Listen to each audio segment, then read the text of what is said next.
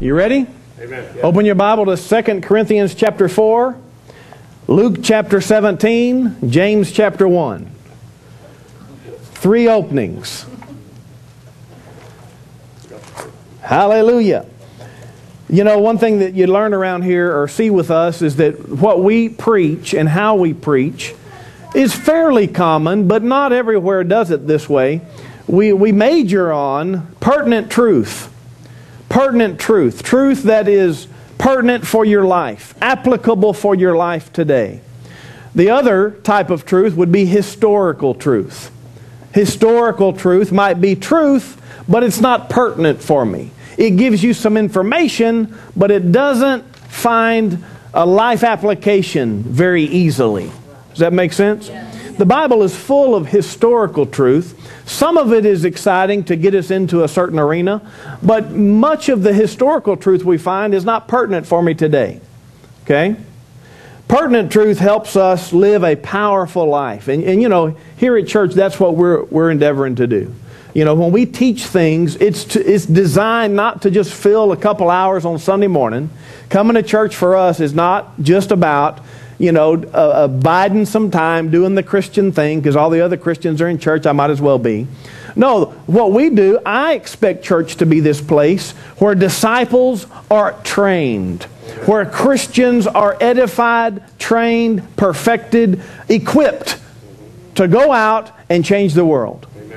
You know, that's what Jesus did. Jesus took uh, ordinary people, He took fishermen, IRS agents, accountants, doctors, ordinary people, and he turned, him, he turned them into powerful disciples who understood the commission of the Lord, who endeavored to witness to the world, who took on that great commission of the Lord Jesus Christ to go out and make a difference and continue his ministry. Amen. Yeah. Amen. That's what I expect Christians to be today.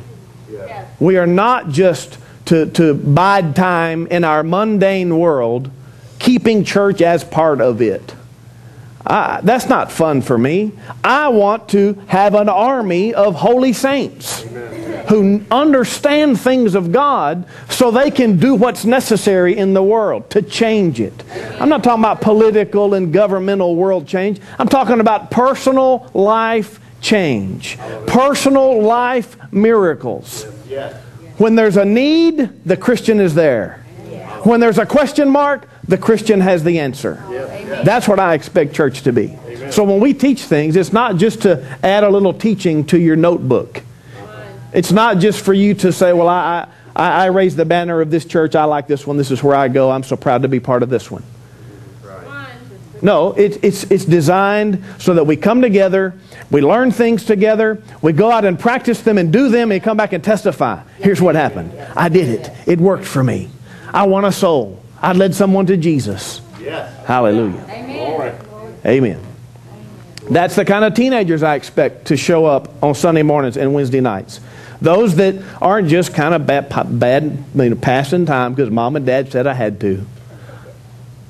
I want to see one with a little sparkle in their eye for God. Amen. If I see a little sparkle in their eye for Jesus, then I can help train them how to fish for men. Amen. How to make how to make a difference. How to feel like you're making a difference in the earth. Praise God. So, 2 Corinthians chapter 4, from last week we said this. Want to read this scripture?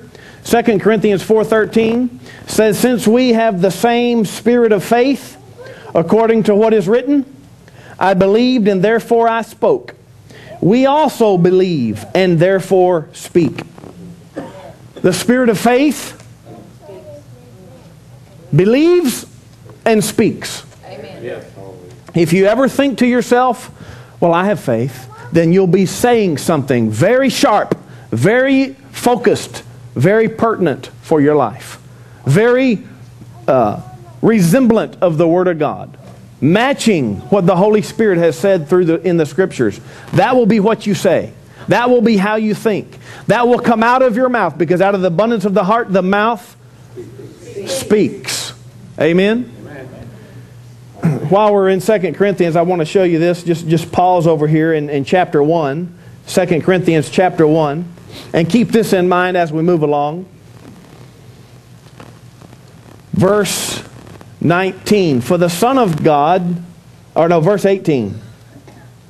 But as God is faithful, our word to you was not yes and no.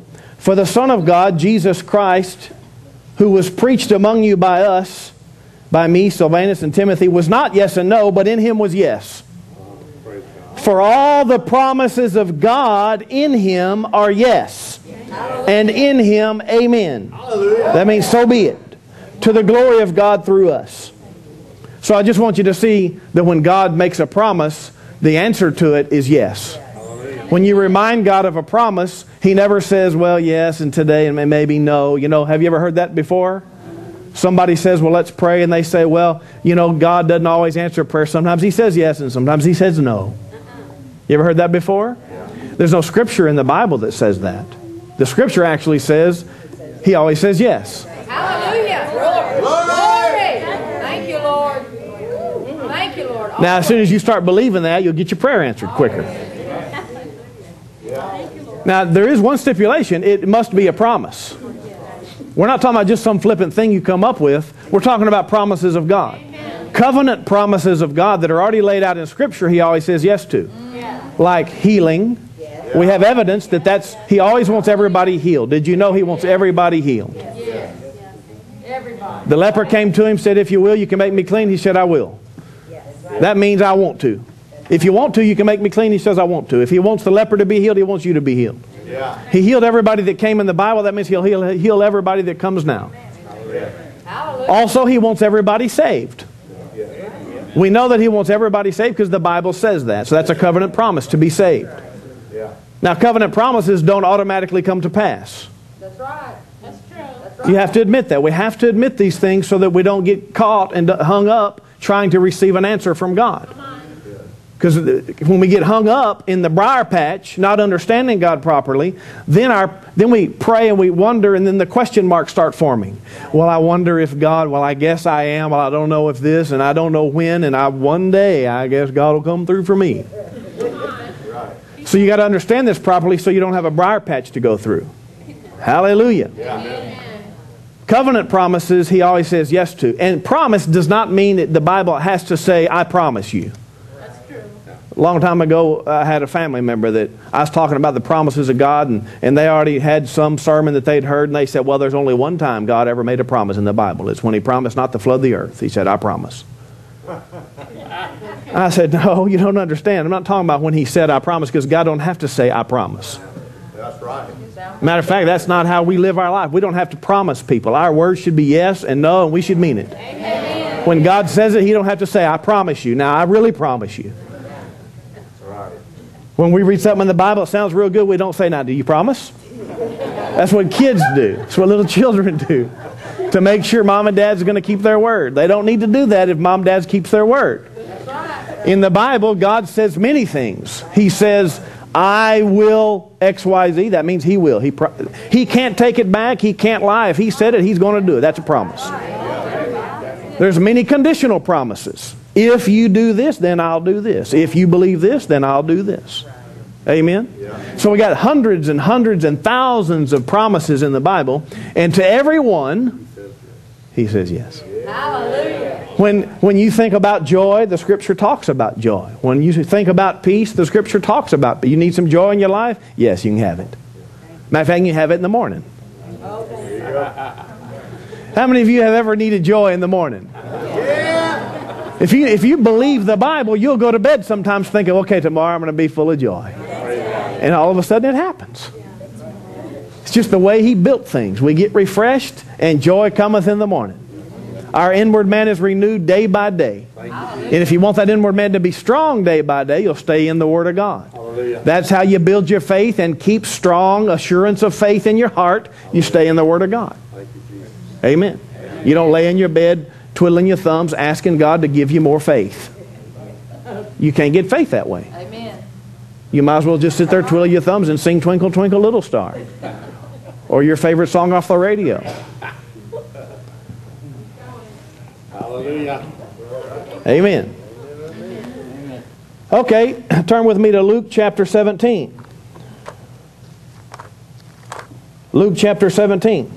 You know, Brother Kenneth Hagin used to do uh, faith seminars and, and uh, faith revivals and healing revivals. And back in the old day, people would come to church every day. And they'd come to church twice a day. So he'd travel around the, the United States and he would hold these meetings in churches. And they would have day meetings. They'd have a morning session. And then they'd have a night session. And this would go on for a week or two or three. And uh, sometimes four or five or six. He said one of them went nine weeks.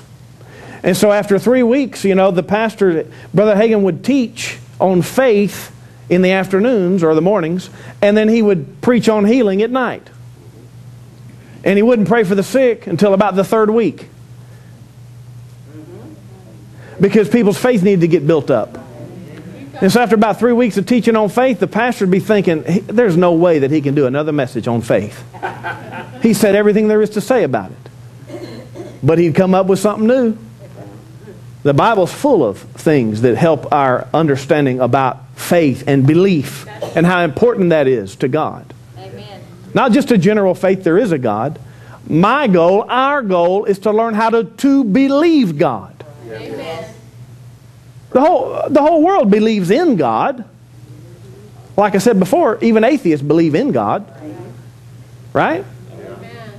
I read an article. They hooked them up to lie detector tests, like 20 or 30 or however many. They hooked up 20 atheists to lie detector tests and asked them if they believe in God. And they all said no, and the thing went crazy. They all meant yes. Everybody believes in God.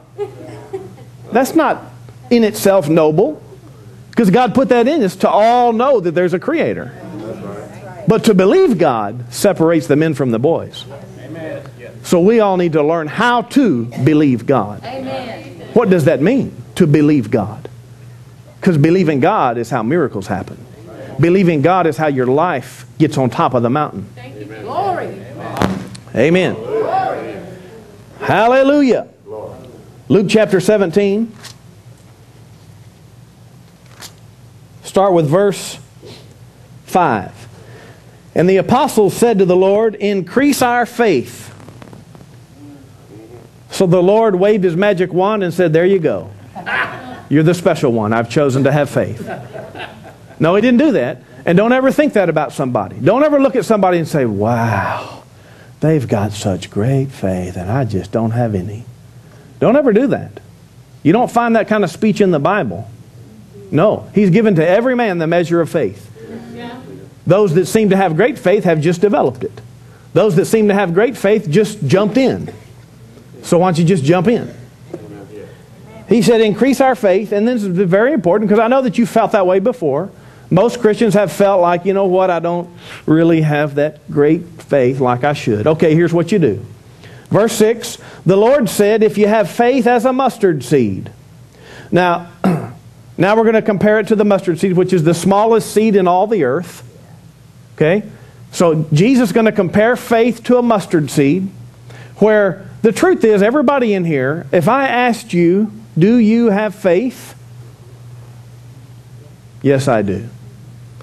Then the next question would be faith in what? What are we talking about? Faith in God? Yes, okay, that's great. That's general. That's good. But what about other things? Faith in what God has said. We need to know the Bible to have faith in what God has said. So we all have faith, and, and if you've been in church for longer than a week, you've heard enough scripture to have some faith in those scriptures. You have heard some things, and they went in, and you said, I believe that. You walk out of Sunday thinking, wow, I believe even stronger today. So therefore, you have faith. You believe. Same thing. Have faith, believe. Same thing. He says, if you have faith as a mustard seed. Now he's going to tell us something. Now, the reason he uses mustard seed, I believe, is because it seems very insignificant. You take a little tiny mustard seed, you look at it in the palm of your hand, it looks like nothing. It looks like a piece of dirt. Insignificant. But out of it comes this huge tree or full, fruitful plant. How could that happen? Well, it's a miracle. I can't explain it. Nobody can explain it. It's a miracle. God put DNA, miraculous DNA, in every seed, and it's a miracle. Amen. It seems insignificant, though. From the natural side, it's like, how could that possibly be? I got to do what with it? Put it in the ground? What is that going to do? Okay? He says if you have faith as a mustard seed, what do you think you're going to have to do with it? You're going to have to plant it. Uh-huh. To make the mustard seed do something, you have to plant the mustard seed. To make your faith do something, you have to plant it. To make your belief do something for you, you have to do something with it. Amen. To make miracles out of what you believe, you have to do something with it. Right. Right. Verse 6 So the Lord said, If you have faith as a mustard seed, you might say to the mulberry tree, Be plucked up by the roots and be planted in the sea, and it would obey you. If you have faith as a mustard seed, you can say to this mulberry tree, Be pulled up by the roots and be planted in the sea, and it would obey you. If you have faith as a mustard seed, you'll say something. You with me? So if you have faith, you will say something. Amen. If you have faith, you will need to plant that faith in the kingdom of God. You will need to say those words. The spirit of faith is to believe and say. If you have belief, you will say. If you have belief and you sit there quietly, it will never produce miracle for you. You can sit there all day long believing something and nothing will happen. You can die and go to heaven believing and nothing will happen. When we think to ourselves, well, I'm believing God, that's okay to say and I'm glad. Are you doing anything else? Are you doing anything else? Are you saying anything else? Amen? Matter of fact, I don't ever use that term that way. Because it's kind of, sometimes it turns into a hopeless term. Well, I'm believing God. It's like it's never happening, but I'm believing God. I've told you the story about how I got married. I used my faith to get married. I used my faith to find a wife. What, what do I mean by that? Well, I found a scripture in the Bible, Mark 11, 24. What things soever you desire when you pray, believe that you receive them, and you shall have them. Well, I desired a wife. I make no bones about it. I asked God if it was okay, and I didn't get a no, so I felt like I'm getting married. And so I asked God for a wife in Jesus' name. And the scripture said, Believe that you receive, and you shall have. So I received her, and I believed that then. And that was it for me. I believed I received her. And so for the whole next year, I never prayed about it again. Never, every time I thought about it, I never re requested. You know, sometimes re requesting gets you in trouble. Once you plant the seed, you leave it in the ground. Once you say what needs to be said, you make your request be made known to God, then you leave that thing in the ground. How ridiculous would it be if a farmer went out there, planted all of his seed, and then the next day he went out there and looked around and got his shovel, started digging them up. Let's let me let me let me redo it. Maybe I need to redo it. Maybe I need to redo it. Maybe I need to redo it. Maybe I need to redo it. Keep going. Six days go by and nothing. He goes back out there. I maybe, I may, maybe I need to redo it. Maybe I need to redo it. Plant your seed and, and have confidence that the kingdom of God works like it said. You pray it in faith, you receive it, you obey the scripture, and you leave it in there. And if you ever think about it again, you just, you just throw some little thanks on it. Thank God. That's all I did for the next year. Every time I thought, oh, thank God, glory to God, I got me a wife. Hallelujah. How wonderful. I'm sure God's preparing her for me. I'm sure God's preparing me for her. That's wonderful. Hallelujah. I, I needed some preparing. Every good, holy, wonderful wife wants a good, holy, wonderful husband. I looked in the mirror and I thought, no wonder I ain't married yet. so I got to work. So for the next year, if somebody would ask me, when you get married, Chas? You know, I was in my late 20s or mid 20s, late 20s. And uh, when you get married, Chas, I don't know, but I received my wife last year. Praise the Lord. I got her somewhere. I hadn't seen her yet. Glory to God. I didn't say, well, I'm believing God. I don't know either. My clock's ticking and I'm believing God. And then the next year goes by. She hadn't showed up yet, so I'm still preparing me. Thanking God. Anybody asked me? I mean, I told probably Probably 20, 30 people who asked me during this time period. And I just said, up. Oh, Mark 11, 24 says, What things soever you desire when you pray, believe that you receive them and you'll have them. Well, I desired a wife, believe that I received her. I got her. Praise the Lord. the next year goes by. People ask me the same thing, quoted the same thing. The next year, go, four years, five years, six years. Never even thought about changing my confession. Never even thought, never even crossed my mind to repray. I had so much confidence on that scripture, so much confidence on that one conversation I had with God and His goodwill for my life. So much confidence. Now, I didn't need to have a wife that week. Like if you're about to die, you need an answer this week. You don't have time to be waiting around for somebody to ask you so you can confess your scripture. You got to better jump on, jump on top of it and get your answer immediately. Amen. A covenant promise is that you can be healed and live. Amen. Having a wife is not a covenant promise. It's a desire of your heart. You have to toss it to God, talk to the Lord about it, allow the Holy Spirit to lead you in your request. Amen. That's good. That's Endure for a while, like, like being a CEO of a company. Some of you youngsters may want to be a CEO of a company. God, in Jesus' name, I want to be a CEO. Amen. You walk out the next door looking for the, the letter of intent. Uh-huh. No, being a CEO of a company might take a while. preparation. Preparation. Some things take a while, some things are covenant promises and can be had today. Having food on your table is a covenant promise, you can have it today. Having enough money to pay the bills, you can have it immediately. Now, if you've dug a huge ditch for yourself, uh, let's go ahead and increase little by little for a little while and walk through the, the rocky road and, and you'll get through it. But you can have food on the table. Amen. You with me? Six years go by, no wife. Seven years go by, no wife. Never once did I, did I think that I need to repray and that God's not going to answer me. Never once. That's called faith. That's called faith. I was confident. I was excited about it. I knew my wife would show up, and she finally showed up. Matter of fact, she showed up in year five. I just didn't know it. She showed up in year five, sitting one seat behind me in my home church.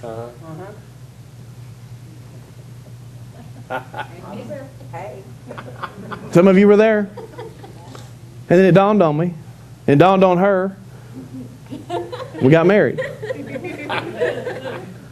If you'll just serve God, you'll get married. Amen. Amen. You'll just serve God at His place and His time and His will and, and, and, and use your faith a little. At least don't doubt and worry. Doubt and worry will just rob you.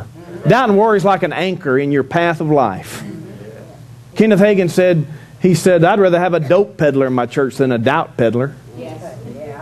People peddling doubt around. Well, I don't know if you can say that. You know, sometimes he says no. Well, I just don't know. You better, you better. We don't need that. If you're sick in your hospital, don't let the doubters in. Keep your flowers, send them to me later. Keep your sympathy cards for later. I don't need no sympathy card. I need some faith cards or no card. Hallelujah. If you want to have a miracle, if you want God to intervene in your life, you're going to have to keep the doubt away. And if it's people in your life, family members, it doesn't matter who it is. If there's doubters, you just ignore them for a while. All right. Going. Praise the Lord. Hallelujah. So I got married by faith. Praise the Lord. Then I really had to use my faith. No, just kidding. Stay married by faith. You got to get married by faith. You got to stay married by faith. Hallelujah. And enjoy the ride. So, if you have faith like a mustard seed, you can plant it. You'll say something. You'll say something if you have faith.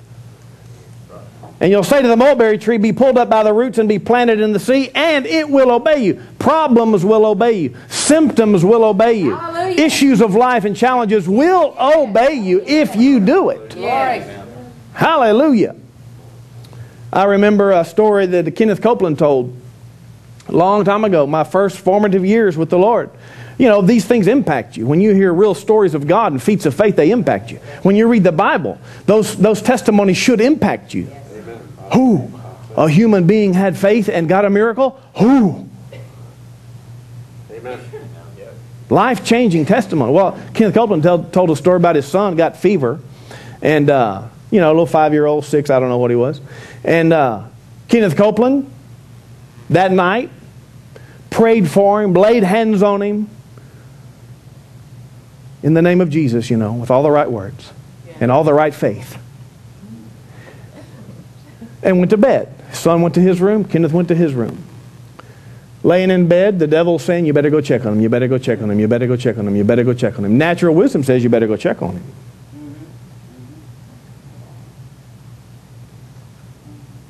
And he said, I already prayed, I'm believing, and I am not moving from it. That's what faith looks Faith doesn't budge. Faith doesn't budge. I'm not budging. I'm not going in there. Now, if it's life or death and you hear screams, you know, you have to you'll, you'll have to do something. But there's a time to not look at the symptom. There's a time to stand firm on your belief and nothing else. You're out on a limb? Yeah, but it's a strong limb. Unless you start walking around on it, goofing up with it, fall off. And uh, the next morning they get up. And out of the corner of his eye, he can see that his son is still sick. They went to eat breakfast. The son is sitting at the table. He can see that he's still sick out of the corner of his eye, but he wouldn't look at him. He had already prayed, he already believed. He already commanded the fever to go. The fever has to go. The fever must go. If you say to the mulberry, it will go in the sea. If you believe that scripture that firmly, it will do it. Amen. That's called faith. He sat at that table, he wouldn't look up. They ate breakfast, and, and Brother Copeland's about to leave and leave the house. And uh, he, felt, he felt his son tugging on his pants or his jacket or whatever. Felt his son tugging on him. Daddy, Daddy. He wouldn't look at him. He said, Daddy, look, look, look, look, look. I'm healed.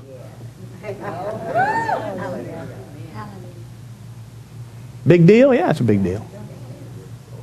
An instant healing from breakfast to doorstep? Yeah. Why? Because someone believed God. That's what believing God will do for you. It'll help your kids stay well. How about that? Thank you, Jesus. I remember James Robison told a story about his son. His son, when he was a teenager, had some severe acne and uh, embarrassed, you know how that is, and found out the truth about God. And, and uh, Brother James and his son sat down and talked about it and prayed. And they decided that by his stripes, his son was healed. And he asked his son, Do you, If you want to believe God for this, I'll help you. His son said, I do, Dad. I think God will heal me in Jesus' name. So they prayed, and he said, Now, son, what are you believing? And his son said, I believe that I'm going to be healed tomorrow morning when I wake up in Jesus' name. So they prayed, they confessed, they rebuked it, they cast the thing out, they received healing, and did all those things. I don't know all the details, but they did what was necessary by faith. Yeah. Well, the next morning, Brother James wakes up, and he hears his son bawling and squalling from the room, from his room. He goes in there and says, What's the matter? His son's looking in the mirror. He says, Daddy, it didn't work. It didn't go away. We believed, and it didn't go away. He and his dad talked for a minute, and his dad convinced him. He said, Now, son, we took a step of faith and believed God, didn't we? The son said, Yeah. He said, There's no reason to budge because we don't look at the symptom to determine if it worked. So why don't we just hang on for a while? Why don't we just stay in faith until it does change? Because we already prayed, we already settled it. His son said, Okay, Dad. So they did. Quit the crying, quit the squalling over the symptoms. Within one month, acne free. Thank you, Jesus. Didn't have to repray, didn't repluck up the seed, didn't look back. You know, looking back at your faith decisions is a no no. When you make a decision of will by faith, when you obey God, when you step out to trust Him, when you step out to go plan A and no plan B, when you step out in faith and believe God for something, don't look back. If you look back, you will waver. If you look back, you'll fall. Remember Lot's wife? She looked back at the faith decision to get out of Sodom and Gomorrah. She turned to salt. It's an example. Don't look back. Amen. Don't look back at, well, what if? Well, I should have. Well, I wonder. Well, what if? Doesn't matter what you've done, whether it's a faith decision or a doubt decision, quit looking back. Just start today and make your right decision. Amen? Amen. Yeah.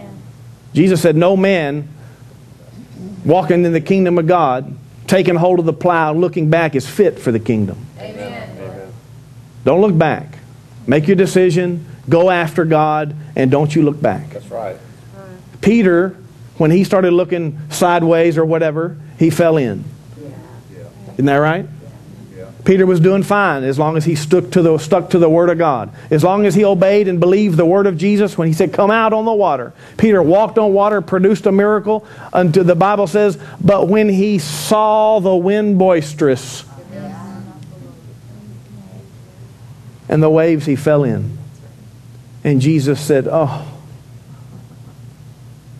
oh, why did you doubt?"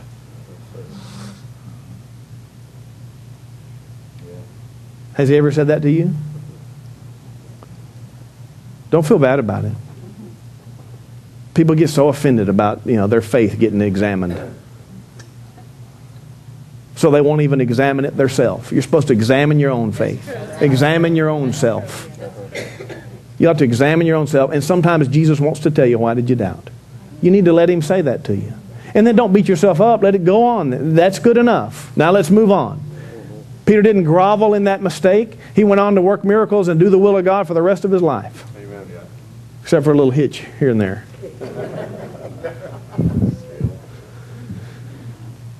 Praise God. Turn with me to James 1.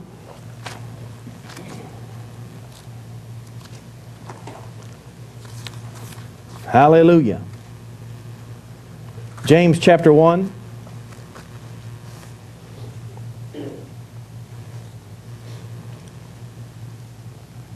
Verse 5. Now, in this context, he's talking about wisdom, asking God for wisdom, which can be applied to anything.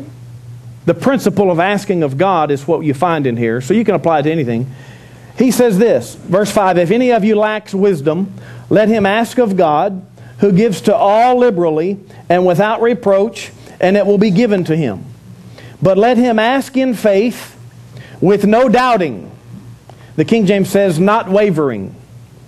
For he who doubts is like a wave of the sea, driven with the wind and tossed.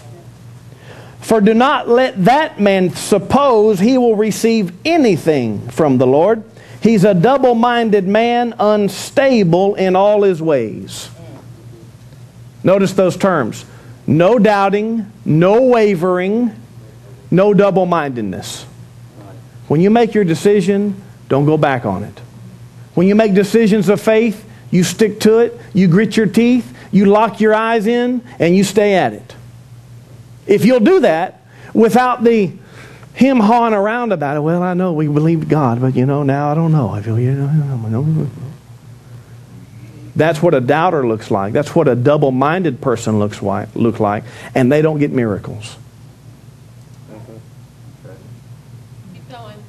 It's a principle of faith. Matter of fact, it says, Let not that man suppose he will receive anything from the Lord. You ever read it that way? If you doubt, waver, and get double minded, I can't even let you suppose you'll get anything. That means I need to tell you you won't get it. God won't help you at all. Can you imagine if you came for pastor's counsel and you sat there with your problem on the table and, and the pastor, what if I said, God won't help you? What if I said, don't even suppose that God will do anything for you? What would you do? If you're looking for Hallmark sympathy cards when you come into the pastor's counsel session, you can forget it. I don't do Hallmark. If you want to, Keep going. John, Amen. Thank you, Lord.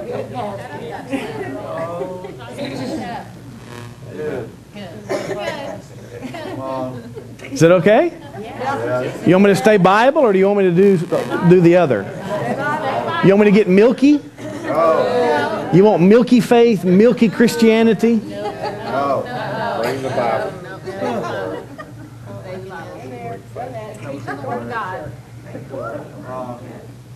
To look somebody in the eye and say, Don't suppose you'll get anything from the Lord. Do you think God will help me? I don't suppose so.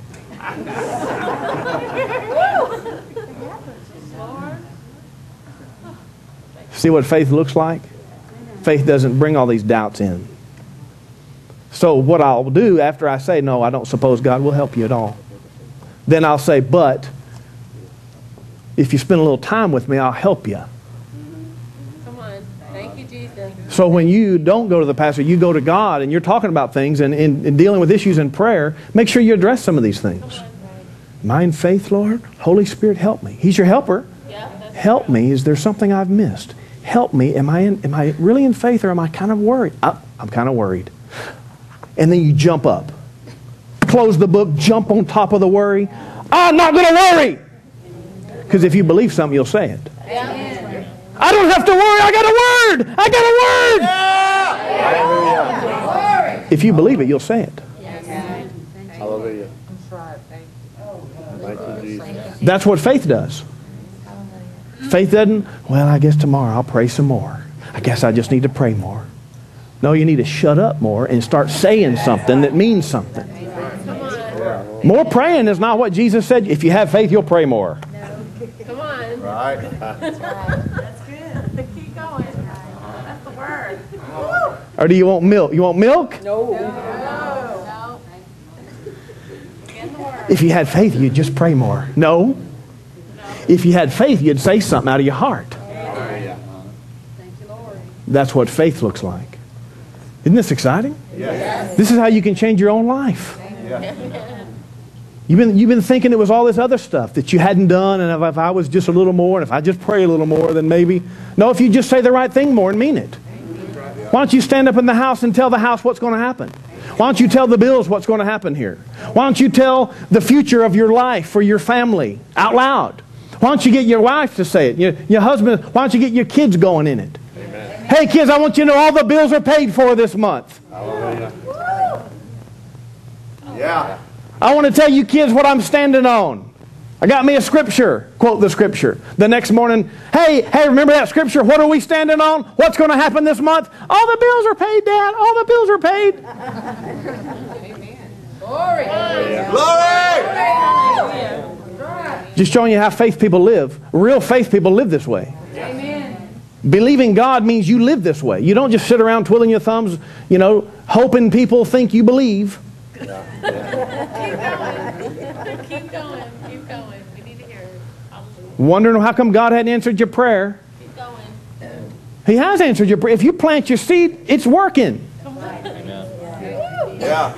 Eventually, you'll have fruit off of that little tiny seed if you'll just keep it up, keep it up, keep it up. I went to, uh, in, in 2009, I went to Uganda for a pastor's leadership training. So, uh, myself and a preacher from Cleveland, I went with him really, uh, hooked up with this preacher who heads up an evangelistic, co- evangelistic coordination of pastors in Uganda. So we went down to Uganda, and uh, we were going to have two big conferences, maybe 300, 400 people in each, of pastors and leaders to train them how to plant churches and some other things. And so um, it was exciting, you know, what a great deal. We, the, the, they had set it all up, it cost money. We brought all these pastors in from all around the territory, and they'd come and stay for three days. And so we landed in Uganda and uh, met with our coordinator pastor. And the first words out of his mouth was, Yes, the territory we're headed to. We, we, we hopped in a bus, a little van, for about seven of us, eight of us. We hopped in the van, luggage on the top, we, we head off. Well, the first conversation is about the territory we're headed to first, has been in a severe drought for 12 months. No rain. They've lost two crops. They've lost 12 lives because of the drought. Well, I heard the news and I thought, hmm, might have to say something. Might have to work a miracle here. We need rain. We can get rain because God gave us authority in the earth. Behold, I give you dominion over the, all the earth. The people of God cause rain in the Bible. Come on. Thank you, The people of God cause rain now. Why America's plentiful. Anyway, so I'm on the bus and I'm thinking, okay, might have to handle this, might have to do something. Don't know what to do, but I'm going to do it. I'm sure that God will show me what to do when it comes. Sure, the thought crossed my mind, uh oh. And the reason I thought, uh oh, is because I got to do something. I know. I'm responsible. Amen. So we show up, or we're, we're, we're headed off. It's a five hour trip. We started at 6 in the morning. We were going to preach a couple meetings that, e- that evening, the afternoon and the evening. And so we're driving on, and uh, about midway, or maybe three or four hours into the trip, we stopped in a town to pick up another pastor who's going to the meeting. He's a Ugandan pastor. We pick him up. He gets in the car, and he's, first things out of his mouth, yep, yep, such and such territory that we're headed to. Been in a drought. It's terrible up there. I don't even know if any pastors are going to show up. And I thought, I have to do something here. I have to do something here. So we, we head up to the meeting, and uh, I know we heard it at least three times. I don't know the the th- I can't remember the third time that we heard that conversation again about this drought and how severe and how terrible and how everybody's depressed, and they were. We showed up. Now the, the preachers showed up. They came from all over, and they showed up, and um, the place is dusty. I mean, it's you can tell it's dead. Well, we show up at the meeting, and, and, and I, think I was scheduled to preach the second meeting. I stood up to preach, and I had a message prepared. It was on specific seed and harvest and planting the Word of God and stuff like that. And um, the first words out of my mouth, the very first thing I said when I got the microphone, I said, Y'all, and I wasn't planning to say this. I didn't know what was going to happen. I was leaving it up to the Lord. But I got up to preach my message, and the first thing out of my mouth was, We can get it to rain.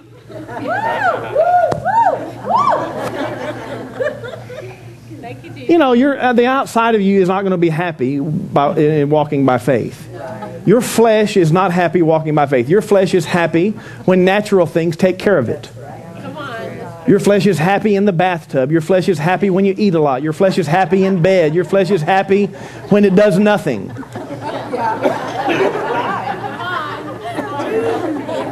So don't confuse it for, I just don't have any faith. No, your flesh never likes faith acts. So I'm thinking, what have I said now? I've got to follow through. And so I preached on uh, the kingdom of God and planting seed and getting harvest because of words and all that. And um, they started, when I said that the first time, I said, we can get it to rain. not a word. Not, not one word. I'm telling you, dead silent. I wish I had video. Because they ain't got no faith that it can rain. If they had faith that it could rain, it would have rained. If you have faith for a miracle, it would have happened. Or if you had faith and planted it, it would have grown. If it hadn't grown, you ain't done it. You ain't got it. So anyway, I said that, and they, it was silence. Well, I started preaching my message. Forty-five minutes goes by, and it elevated from beginning to end. Forty-five minutes go by, and at the end of that message, they're fired up. I told them again, we can get it to rain. Yeah! the Word of God can fire anything up. The Word of God gives life. Hallelujah. This word will never fail you. If you need life for today, it will, it will resurrect you. Just five scriptures will resurrect you. Hallelujah. Maybe just one. That's right. Point is, just try it. Do something. And so I had them all stand up at the end, and I, and I, and I, I led them. I felt of the Lord that it wasn't for me to stand up and make a big declaration of, you know, Elijah type pronouncement of rain. Rather, I felt like these are pastors. They're responsible for their country. They're responsible for their territory, their people, their, their livelihood. So let me help them because then they can help their people. I thought if I could just teach them how to take responsibilities, take a stand of faith for something to happen in the earth that's godly, that's a covenant promise, that's what I need. So I felt like that. Through the 45 minutes, I realized that's what I'm going to have to do. And so they stood up, and I, I led them in confession. I said, God's not going to let us fail. God's not going to let one more person die. We're going to make it. And I just had them confess all the truth of God. Yeah. well, that night, it rained.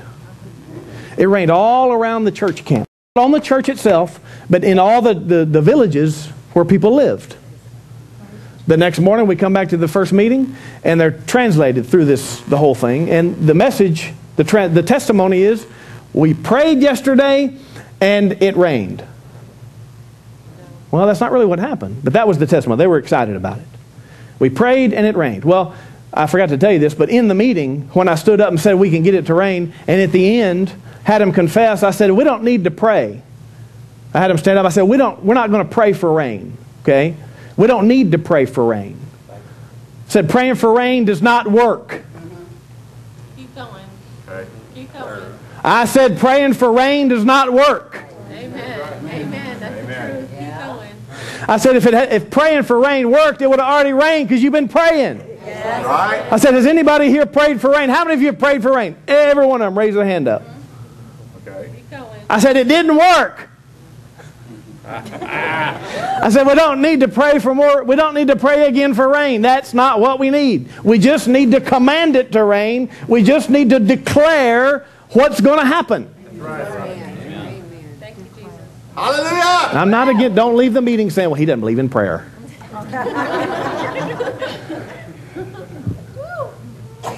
No, you, you can pray and you can talk to God about anything, but recognize the secret to success. Jesus didn't say if you had faith of the mustard seed, you'd pray. He said you'd say. Yeah, that's true. So that night it rained. The testimony is it rained, praise the Lord. I got up my first meeting and I said, guys, ladies and gentlemen, we did not pray for rain. I made them admit it. That's a principle. You have to know these things. Yeah, come on. The Christian for so long has been in milky, the Milky Way galaxy of Christianity, which is we're all praying for, begging God and praying more and begging God and praying for, begging God. We sure hope He says yes. For so long, Christianity has been found in milk that way and never hardly got miracles at all. Every once in a while, a little something happens, we blame it on God. That's good. So I explained it to him. Well, the second night, it poured down rain. I mean, we were out in the van. We had tur- went to another town to do some things and s- visit something, see some some people, and we hardly got back because it rained so hard. I mean, we were kind of the, the van slipping and sliding on the dirt roads, trying to get through the the jungle, and uh, it poured down rain. So the third morning, or that second morning, uh, they show up at the meeting, and the testimony through the translators is Thank God it has rained, but please, no more rain. Tell them to pray, no more rain, because it will flood.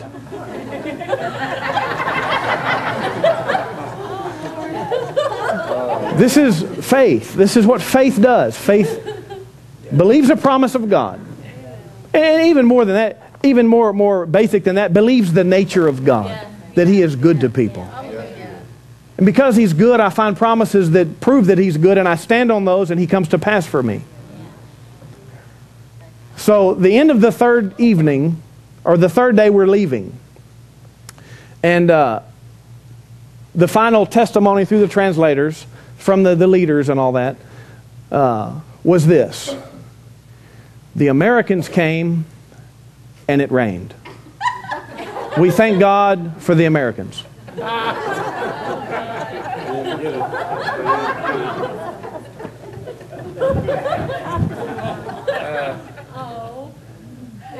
My first thought was, I need to be here for three months. Because they didn't get it. They probably still didn't get it. And that's a shame, isn't it? It doesn't change the principle of God, but it does mean that it takes time for us to get these things. These principles don't just come at the blink of an eye. You're going to have to go after these things. You know, overseas, that's the thought is that the, the American, they have all the solutions. They have the money, they have the people that have knowledge, so all we need is an American. And it gets them focused on, on Americans rather than Jesus. Now, they love Jesus, don't get me wrong. Some of them have some severe faith in many, in many arenas. But in that, they didn't.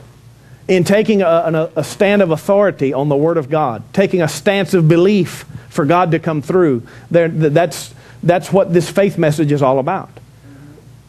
We read last week that's what the word of faith is all about. It's believing and saying something in order for miracles to happen rather than praying and begging for miracles to happen. They don't happen that way, they happen God's way, the spirit of faith way. Amen. Mark Hankins said the, the spirit of faith will make you, make you want to swing out over hell on a cornstalk, spit in the devil's eye. The spirit of, faith, spirit of faith will make a tadpole sw- slap a whale. The spirit of faith will, will cause an ordinary person to stand up in the face of adversity and cause miracles to happen. The spirit of faith caused David to stand up in the face of the giant and win. Yeah. But he, you have, it wasn't just like oh, an accidental miracle that God wanted to happen, so God slayed the giant. No, it's not. It didn't happen that way. It happened because a little ruddy fella who loved God and God's kingdom and God's people, he heard that there was a, a giant that had defied the armies of the living God. And he shows up at the battle, and they all look at him like he's nuts. And he said, Is there not a cause? Is there not a reason for me to be here? What can you do? You're too little. He said, I, I, I killed, the, I killed the, the lion and the bear. I can kill the giant.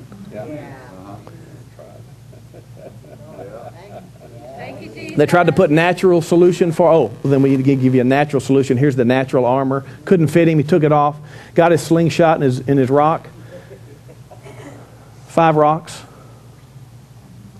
Because even if the first miss, he's going to get it on the second. When, when you stand up in faith, it don't matter. I'm getting it. I, I don't care. I don't care what it looks like the first few times. I'm getting it. Hallelujah. Praise God. And so he stands up, and the, and the giant looks at him, and he laughs. Who are you? They send out a little, a little boy like you against a giant like me? He goes, I'm going to kill you. That's what the devil says. Sure, the devil's a giant. He stands up. He's gonna. He's not just going to just fall down. The devil doesn't ever fall down. The challenges don't just say, "Oh, well, here you are." Do they? No, they stand up toe to toe for a moment. The giant yelled at him and shouted at him, told him, I'm going to kill you and chop your head off. David said, Who are you to defy the armies of the living God? You, I'm going to chop your head off. You come at me with a spear, I come at you in the name of the Lord of hosts. Hallelujah.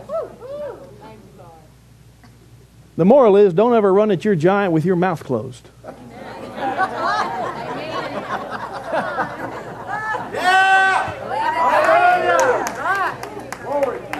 This milky, silent Christian waiting, praying, hoping, wishing, forget it. You better stand up and mean it when you say it. Amen. I mean, David's knees might have been knocking when he said it, but he said it. Yeah, yeah, he did. He did. He did. Hallelujah. Well, he did it, and he chopped the, the giant's head off with his own sword. Glory to God. Everybody stand up, please.